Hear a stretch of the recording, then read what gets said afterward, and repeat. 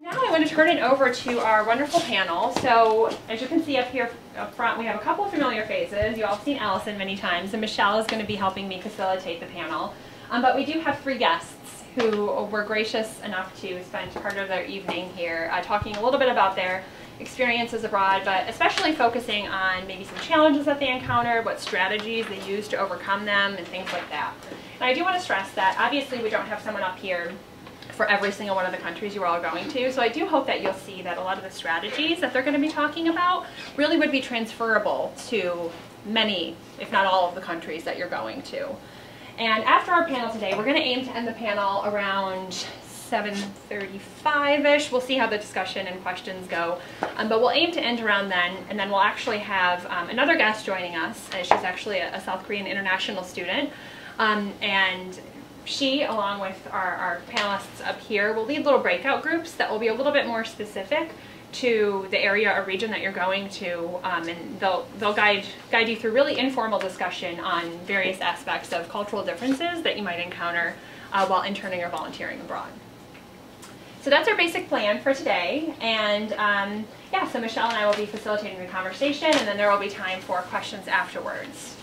So I guess the first thing that I would like our wonderful panelists to do is if you guys could just introduce yourselves, like what year you are, what you study, and give us an overview of um, the type of internship or volunteer abroad experiences you had. Hi, I'm Alison. I think you guys all know that, but um, I'm a junior and I interned in Spain last summer, so I'll be talking about that today. Um, I'm Nyelah, I'm also a junior.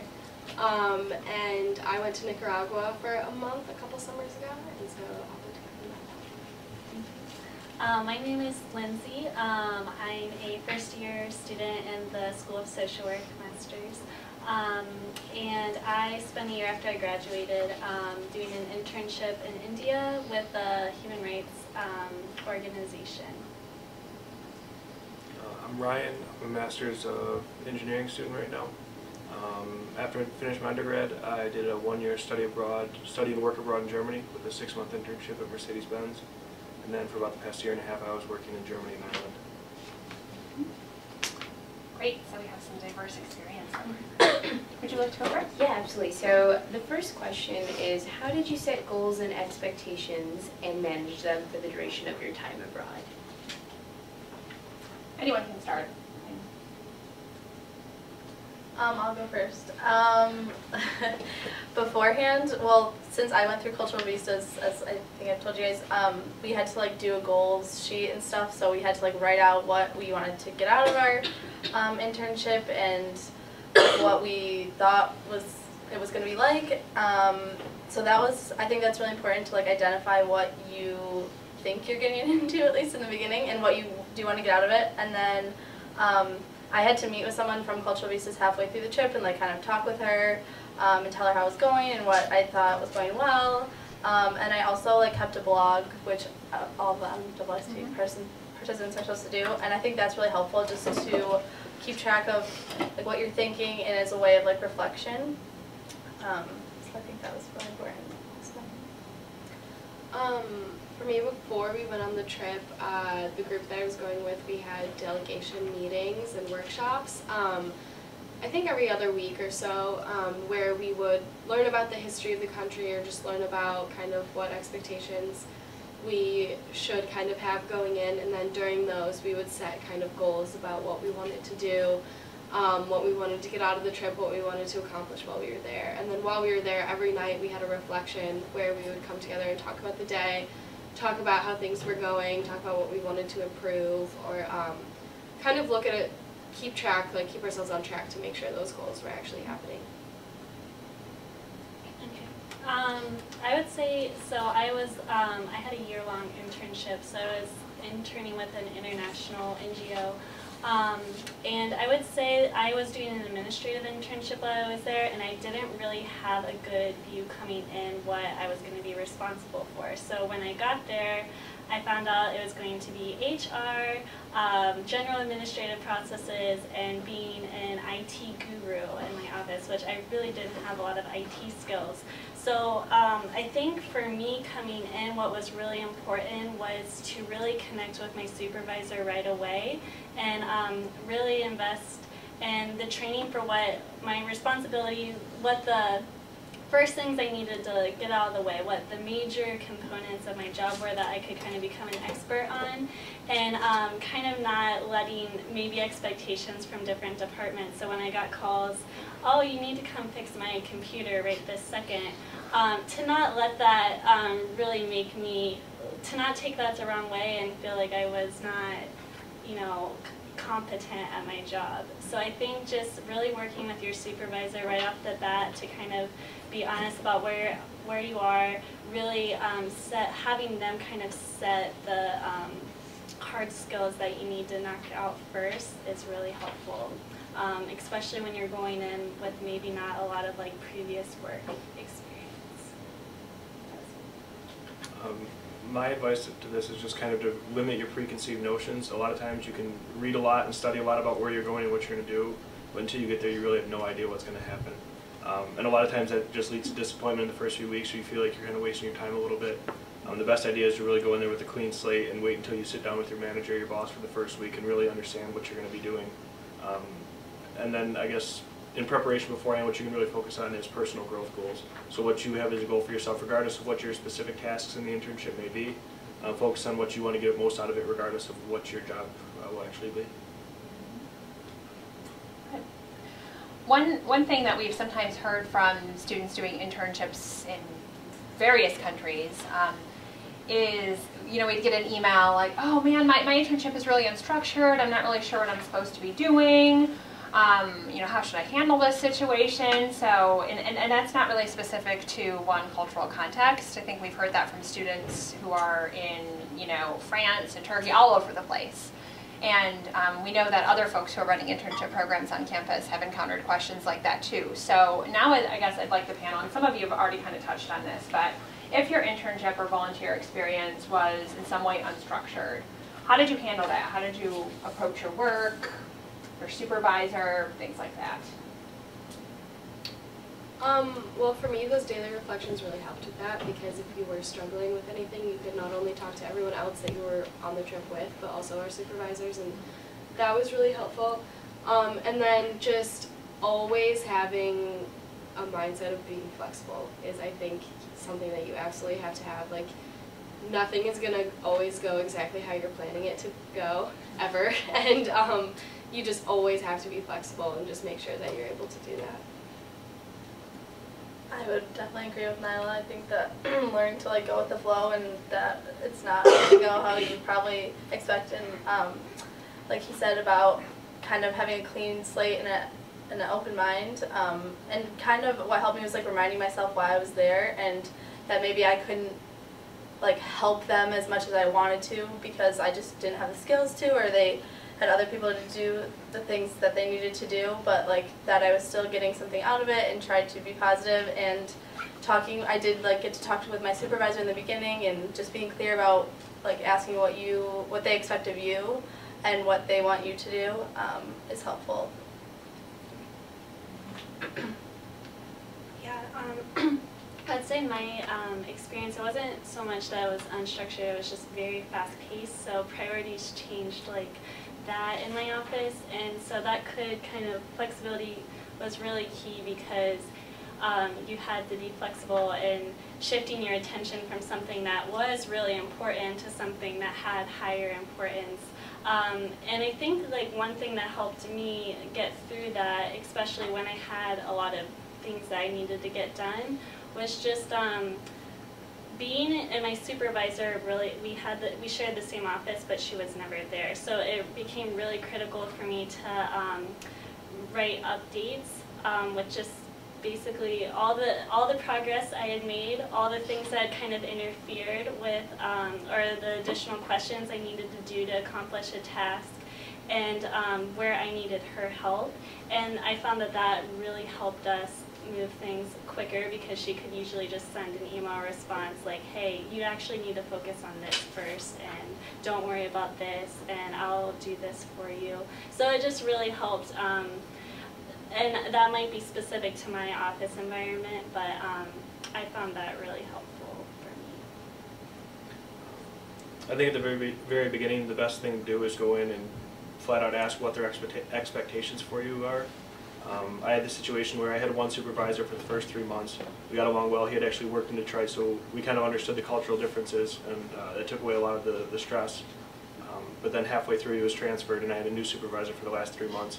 I couldn't understand what he was saying, and it was just very difficult. So it was, I kind of had to go back to square one and make sure he had the same expectations for me, um, making sure that it was very open. And if you're working in a different language, always ask the questions twice. It's I got into the habit of just kind of nodding and saying, okay, okay, I know what you're saying, when I had absolutely no idea. And then I have to go back two or three days later to ask the same question again. So it's better just to admit up front, if you aren't sure, ask again, and just make sure it's clear from the very beginning. How many of you will be working in another language? Oh. A lot of you. All right, cool. So that's really good advice. And I think another really important thing to, to pull from this is that I think all of you basically said that you kind of have to be comfortable with ambiguity and kind of go in with no expectations and be flexible. And those are some of the greatest skills that you gain from from global work. Like those are the types of skills that you can talk to employers about and, and write about in cover letters and things like that. So just wanted to kind of highlight that um, you know even though these these folks were all over the world, their their message is actually pretty consistent. So. Yeah, I think a major theme is this idea that like you come in with certain ideas and expectations, and that definitely can be turned on its head, right? So I think this next question kind of um, relates to that in terms of like what were you most surprised by, and what was the most difficult for you to adjust to in terms of your experience in your work and your job, and uh, how did you deal with it? Sorry, I don't want to. I didn't want to stare at you. I don't. I guess I'll start this one then. Um, what I was most surprised by is when I did my internship in Germany, um, their education system is set up so that an internship is basically required, if one, if not two internships during the process.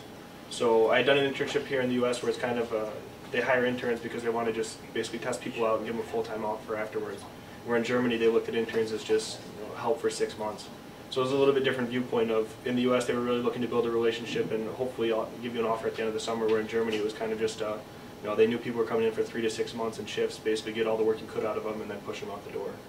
Um, so that was kind of difficult for me to understand at first, and also the amount of responsibility that I was taking on, because it was just they expected to be a short-term, short-term help. Um, the responsibility level was kept kind of low, so from that I really had to work hard at the very beginning to show what I could do, and try to take on more responsibility and kind of adjust to their mentality of how it was going to be, and then try to pick up a little more as time went on. Um, yeah, I would say a lot of things surprised me about my internship experience. Um, I think.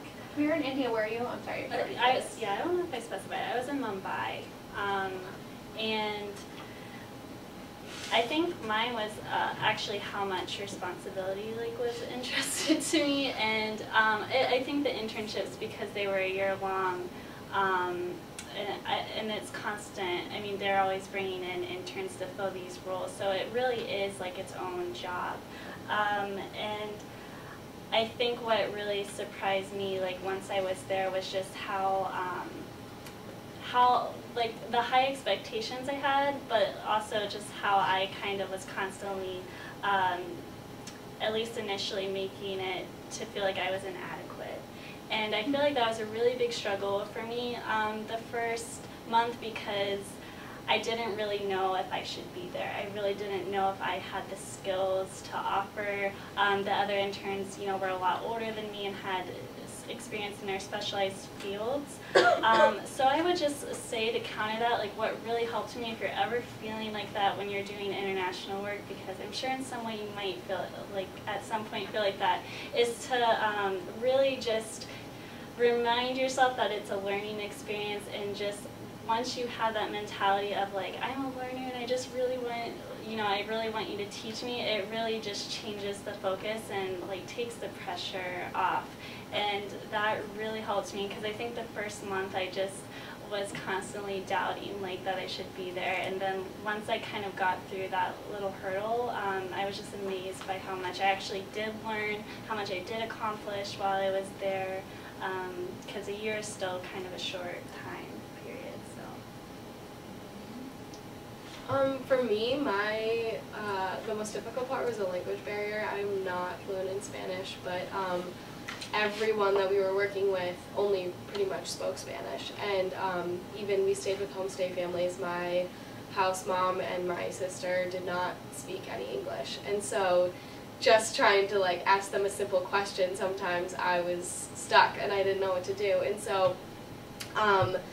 I mean, that helped my Spanish a lot, but obviously at first I was really struggling, and so um, I just utilized the other people in my group. I mean, Alison was there with me, and she spoke a lot better Spanish than I did, um, and so just kind of asking for clarification, asking over and over, and just trying to do like hand gestures until you get it, and um, but really trying though to communicate is really important because if I would have just kind of given up and then not communicated with them at all, I wouldn't have learned any more Spanish and I wouldn't have progressed at all and then I wouldn't have been able to form relationships with anyone there either, so.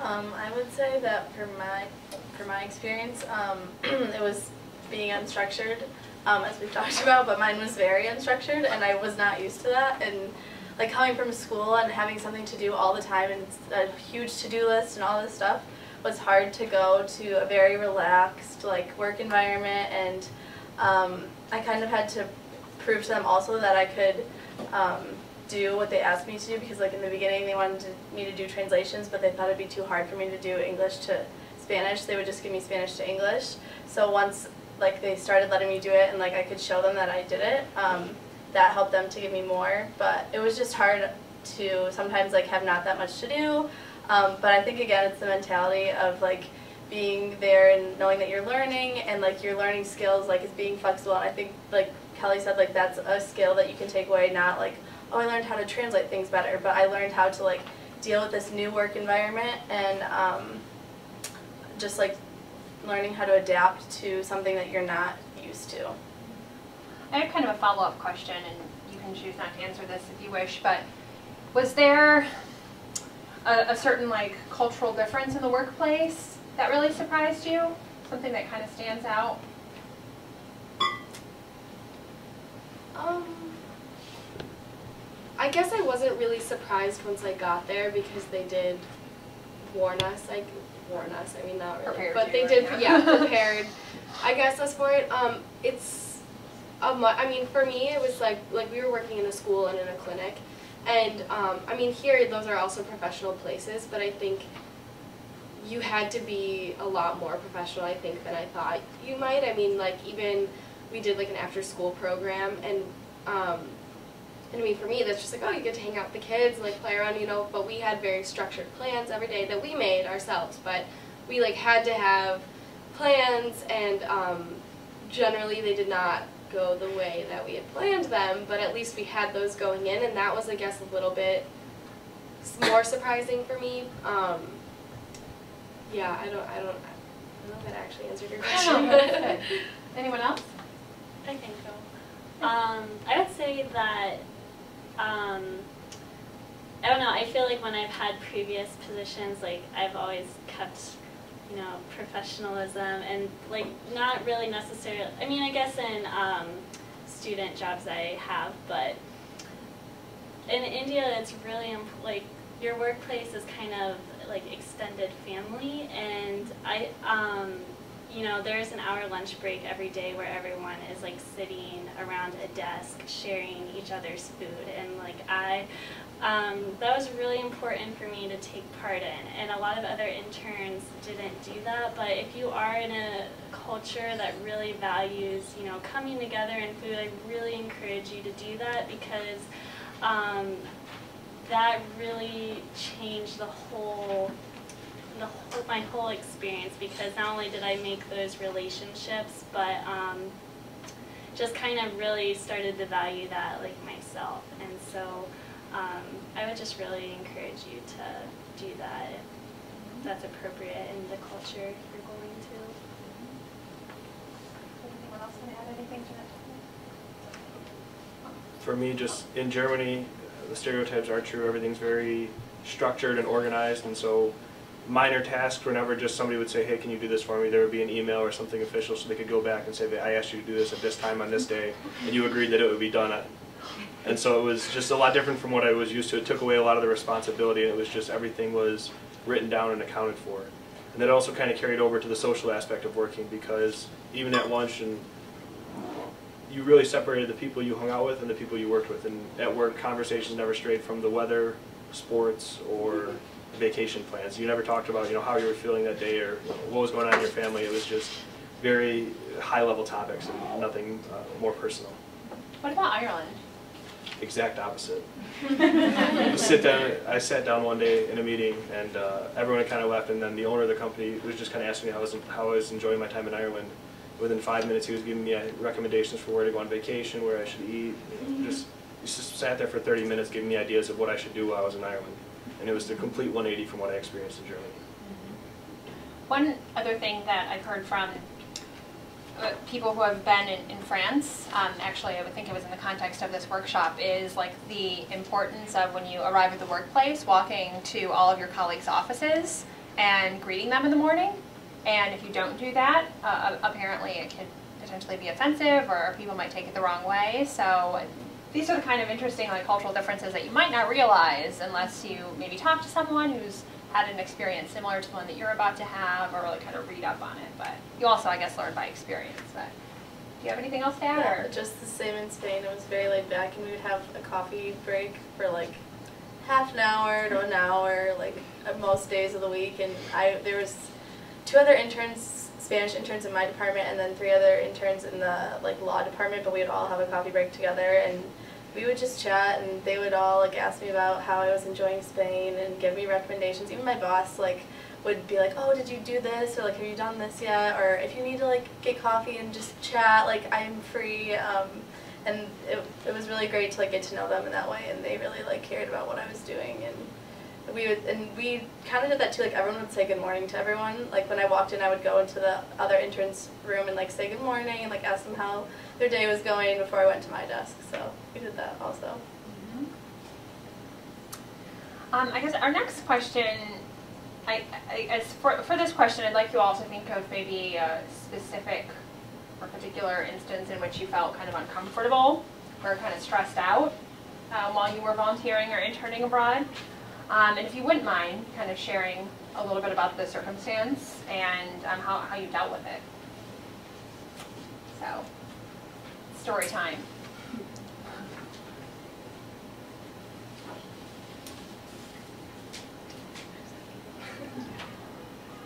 Um i can go.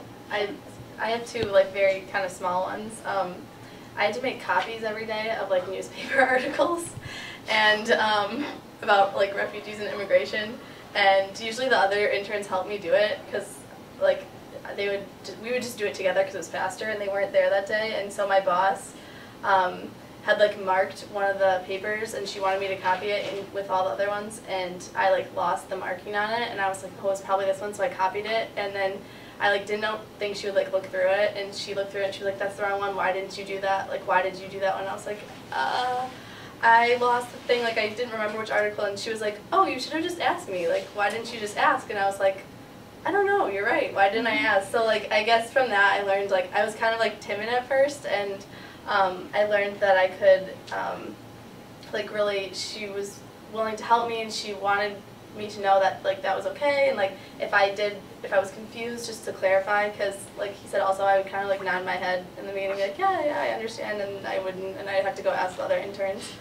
Um, and another time I had to talk to like the director of the whole thing, like not just my boss, and so um, I like had had one of the inter- other interns like help me type up my email to her, and um, she like really helped me because I was like really nervous about it. But so like utilizing other people in the office if like like they're willing to help you was like really useful to me because they helped me when I had to like talk to my boss and stuff in the beginning when I was nervous about it. So. Yeah. Um, okay, so one of my stressful situations, I guess, was in the same kids club that I was talking about before. Um, and it was raining that day, so pretty much anything that was outside we couldn't really do. Um, and so we had one of the because they all had stations kind of, and we did themed days, and um, so I don't even remember what the theme was for the day, but it was raining, and so we couldn't do a couple of our activities. Um, but one of our activities was doing karaoke, which we could do under the thing under the roof, and it was no big deal. So we were like, okay, we'll just do a lot of karaoke, a lot of dancing. You know, they love that. But then um, none of the songs would load on any of the computers or anything, so we couldn't actually do karaoke. And so we were all pretty frustrated. Like everything we've planned is not going to happen, including this karaoke, which we thought was maybe going to be like like the lifesaver today. Um, and so again, I guess this is just going along with being flexible and just like being creative in ways to fix situations. I think what we ended up doing was just having them pick a song, one of the kids just pick a song and then just sing it. Like they would just start singing it and dancing and like we hopefully know it, but we usually didn't. And then um, I mean, it ended up being pretty unstructured, and they just kind of did whatever they wanted. But at least they were still like having fun because we couldn't go outside, and like you just have to kind of go with the flow. And I think that's, I mean, we all touched on that earlier. That's just like really, really important. Um, this was kind of hard for me, but I can think of like one thing that happened like every month. I there. I had to um, because I was an admin intern. I was dealing with staff at all levels in the office, and so you know I was very much corresponding all the time with all the directors of departments, trying to get things from them, which could be stressful because they're very busy and I'm an intern. Um, and there was one particular director that was just every month I needed something and it just would never, I would never get it when I needed to get it. And um, so at first I was very timid about that because I don't know, I, I don't really like confronting, especially people who are I perceive superior to me. And you know, so I would email, still like not get a response. And um, so over the course of time, month by month, I started, you know, okay, I'm just going to walk to the office. And sometimes that wouldn't even work. So then it was really turning to my supervisor and I just think bringing in, kind of like what you said, bringing in other people in the office to help only when they're really needed. Like try to take care of it yourself first and do your best, and if it doesn't, then that's when you kind of turn to your supervisor. So not maybe turning to them right away, like, can you put out this fire for me? Or like, I'm too scared to like go and confront them. Like, do what you need to do, and if it's still not working, then you go there. But that was just kind of a consistent thing that I hated every month, and it was stressful.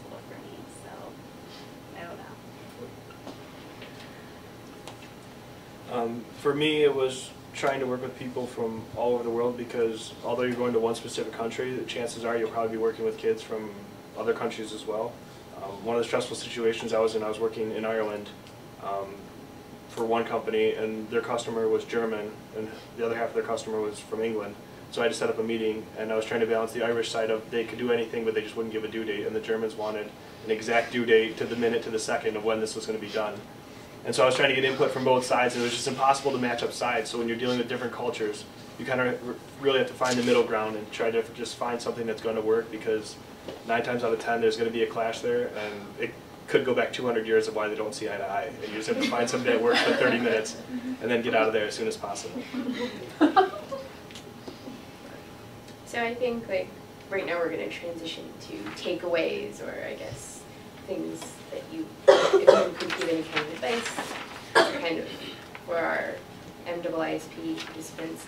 So the question is, um, what was the most useful action you took to prepare for your international internship?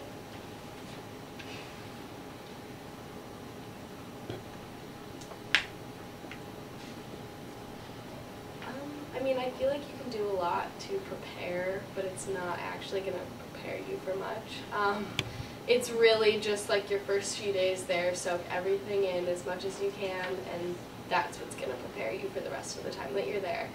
Um, I mean, I mentioned my dele- delegation workshops beforehand, and that those were really helpful because they gave um, a lot of context that you needed to know to understand the people.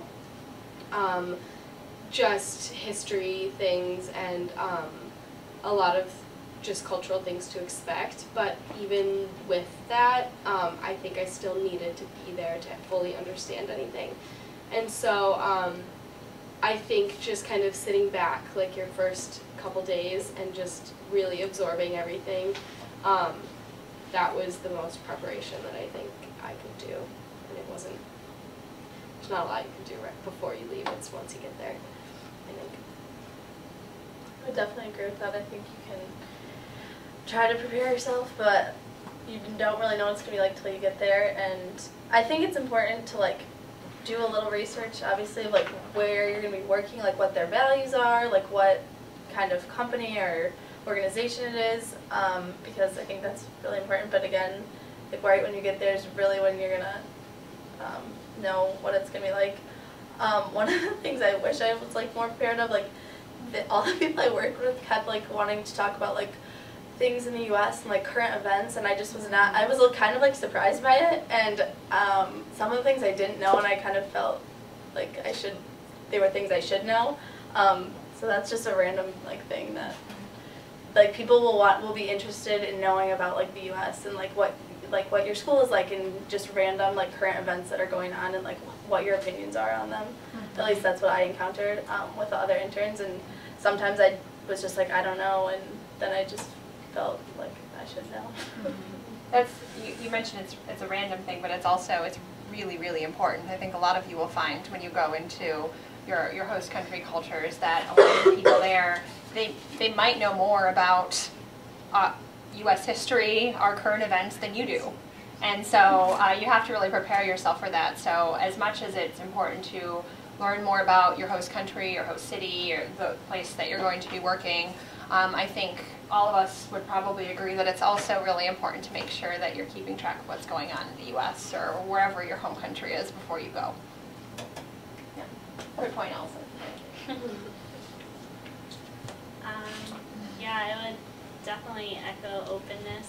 Um, and I had actually, I'd studied in India before, so I think when I was going, I wasn't really necessarily worried about that. Maybe I came in with a false sense of confidence that, oh, because I've been in India before, this adjustment won't be hard for me. And I think because it, not only was it a very different city, but it, it was just an entirely different context. And, um, and so I think, again, um, you know, back to my earlier struggles of, you know, this was a lot of responsibility, not knowing what I was doing. Once I became open and was kind of just absorbing things and just, you know, took that position, it really helped me. And I feel like if I had come in like that, I wouldn't have that I wouldn't have had as many challenges initially as I did.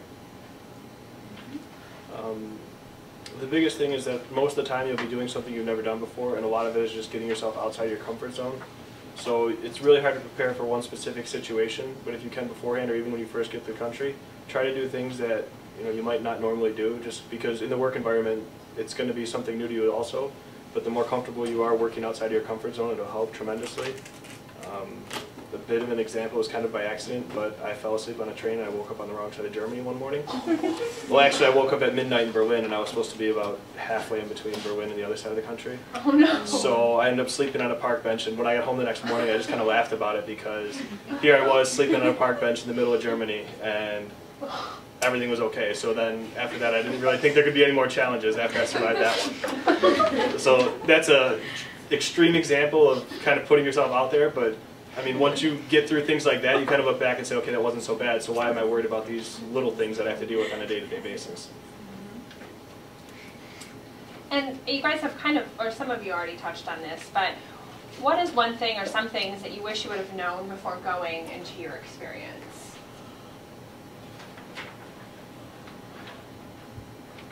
So that maybe coupled with any tips that you might have for all these folks. So some have been abroad before, some have not been abroad before. So what do you wish you would have known? What do you wish you would have done to prepare? What are some tips? Um, I can start. Um, I would say the, I think this is the social worker coming out in me, but the importance of uh, self-care, um, especially when you're going to a different country for a job and, um, or an internship. Because, you know, there is a level of responsibility there. You know, you're not necessarily going for a study abroad program, which, you know, it's arguable, depending on the program, how challenging you know the studies actually are compared to the leisure time. So, really, still keeping at heart um, balance and knowing what relaxes you um, before you go, what things you enjoy, and making sure that you at least have a few of those things like in place and ready that you can kind of turn to when you're in a stressful moment. And it might not even be with your internship, it might just be homesickness, it might be, you know, a feeling of one, you know, isolation for a few days. Just like having something to turn to that will kind of relax you and um, do that. And I like kind of was a slow learner on that, so I feel like sometimes I stressed myself out before I really started, like halfway through, then I got the hang of it.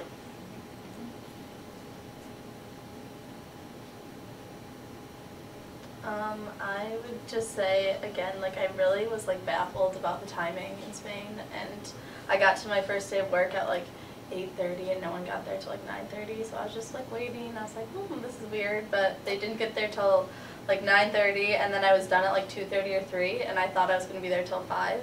Um, so that was just like I. That's something I probably should have been aware of before I got there.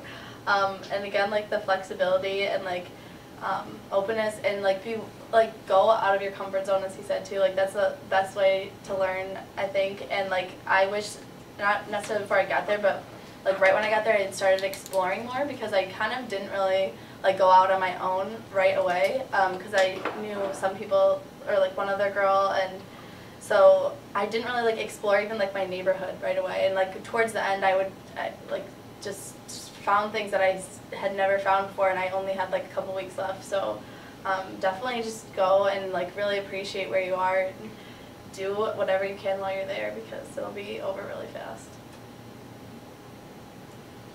Um, yeah, the one thing to add to that is don't take your time there for granted. A lot of times you'll say, well, I have six weeks here, I can go do that at the end of the time. And then you have one weekend left and you're trying to fit in three weeks of activities into the last two days. Um, always try to be busy doing something. Uh, sometimes it's hard to let go of things at home, but while you're abroad, try to let go as much as you can and enjoy the experience for what it is. Um, the other thing, just from being prepared, take two debit cards, leave one at home and leave one on you. just always have some sort of backup because accidents happen when you travel. and You never want to be stranded there for a couple days before your parents can send you a new card or before you can get access to funds. Just, you know, don't plan for the worst, but always have a backup plan.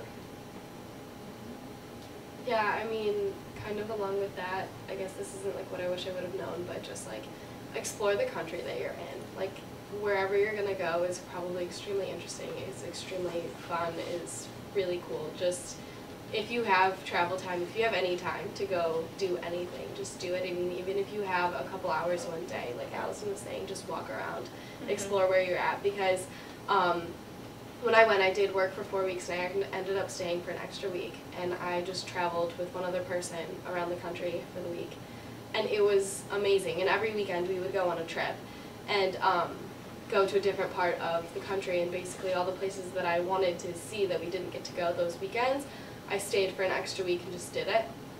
And it was amazing. I mean, I got to see a lot of this country. I mean, and I mean, it was beautiful. It was so much fun, and um, so just really do that if you have the opportunity because you'll see some really cool things, meet really awesome people. Um, it's a good experience.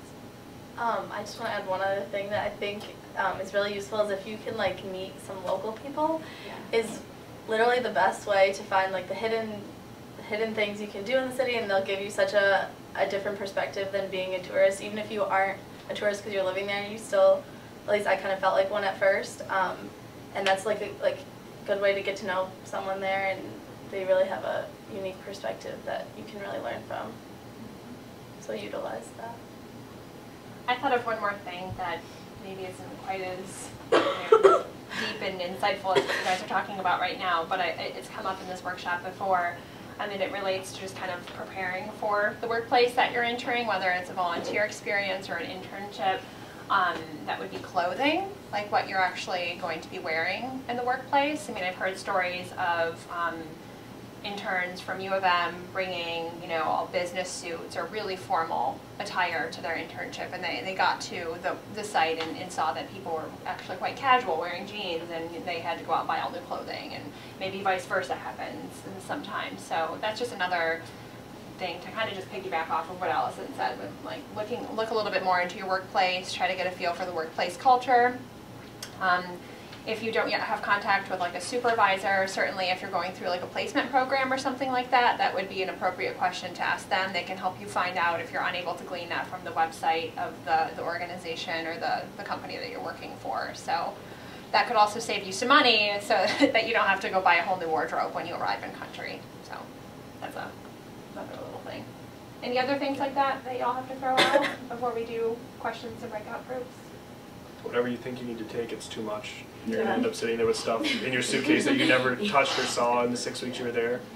And then you're gonna end up having to leave stuff behind because it won't fit in your suitcase to come home and you have souvenirs and all the stuff you bought while you're there, so. uh, Whatever you think you need, just take two or three things out.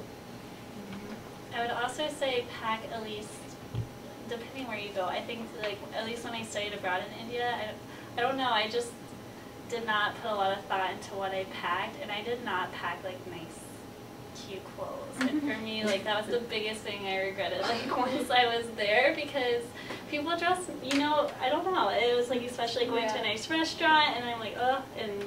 So yeah, just bring things that you actually like clothing wise and I don't know, I think I wanted to be a hippie secretly or something because that's all the clothes I brought. Nothing wrong with that, but like I yeah, I agree with that. I mean, we were the workplace and then like your social aspect of it are going to be two different wardrobes, and I was not prepared for that. I don't think either. Of us were when we went to Nicaragua, because we were told wear t-shirts, wear long skirts, long pants, you know, like be dressed very conservatively, which is appropriate for the school and the clinic, and when you're walking around the community, but when you go and dan- go dancing at night at the club, you're not going to be wearing a frumpy old skirt, like, and that's all I had pretty much. So we, we bought new clothes while we were there, just so we could go out to the clubs and to the bars, and I mean, it was fun.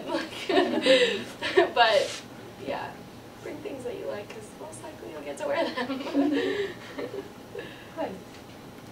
So before we go to breakout groups, because I, I know that um, our, one, another one of our guests has arrived to help facilitate a little breakout group, but um, before we do that, I did want to give you guys uh, the opportunity to ask questions for our panel, um, whether you have a question for one specific person or a question that you'd like them all to address.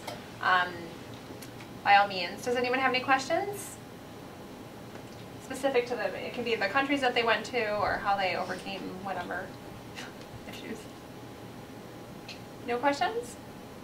Okay, well then I think at this point we will do the breakout groups and they're, they're meant to be very informal. Um, and we, we unfortunately, we don't have someone to represent every single country that y'all are going to, so we're, we're gonna maybe kind of have to get a little bit creative and kind of group together a little bit. Um, I know uh, another one of our guests, Ashley, walked in, I think. Are you still there? Hi, Ashley. So um, Ashley is from South Korea, is that correct? Great. And um, we have uh, two students here who are going to South Korea. So um, we've asked Ashley to come and talk a little bit more about workplace culture and cultural differences. And every single person up here will also be leading an informal breakout group. So I guess if you guys maybe kind of want to self-identify or, or group yourself into one of these breakout groups, and if you don't feel like one relates to you, um, then you are, of course, free to go, but we hope that you will stay. And on the back of your agenda, um, we have a list of topics. I doubt we're going to get through all these topics, but these are just some uh, suggested topics for the breakout group facilitators to go through and comparing the culture here in Ann Arbor, here in the U.S., to what one might find um, in a workplace in country X. So that's kind of what we're going to be doing. Um, yeah, is, did I forget anything else? And if you do leave, please be sure to sign in, or be sure that you signed in so that we know you were here. Um, But, yeah, so I guess we'll, we'll have maybe a few groups meet in here, we can have some groups meet in our, our office or in the lobby area, so, um, the group leaders, if you kind of want to yeah, yeah. Yeah, you guys can meet together. Cool. Uh, So we have, we have Central America here, Nicaragua, Yeah. Honduras, Yeah,